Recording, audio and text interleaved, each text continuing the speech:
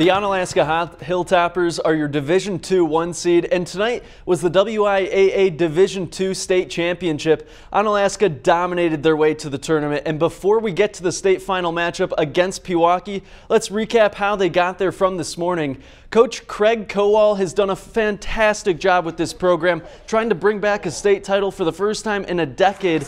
And in the semifinals, was Evan Gamoki giving the Hilltoppers separation. He hit four big threes.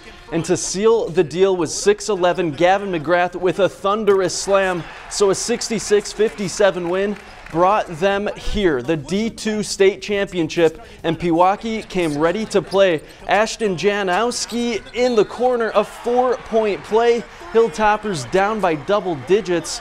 And on the other end, it's McGrath. With a hand in the face, it's not going to matter. McGrath knocks down the tray.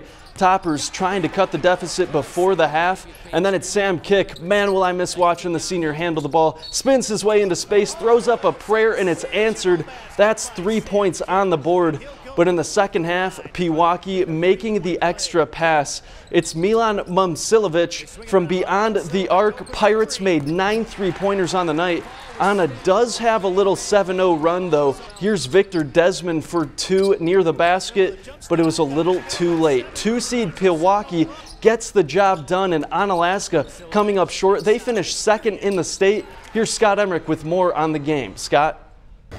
Declan, it's silver, not gold for the Hilltoppers tonight. Onalaska drowning in a sea of Pewaukee three-pointers. The Pirates made 8 of 13 from three-point range in the first half and building a 14-point lead, a lead the Hilltoppers were never able to overcome.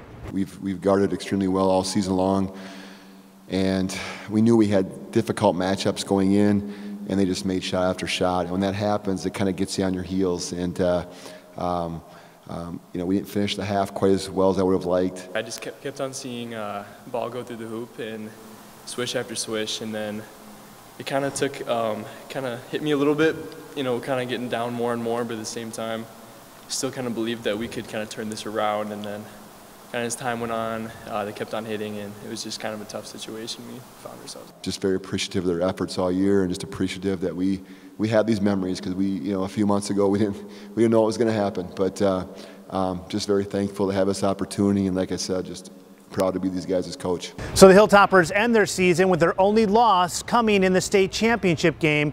Their state runner-up finish this year is their first ever state runner-up finish to go with three state titles. From the La Crosse Center, Scott Emmerich, News 19 Sports.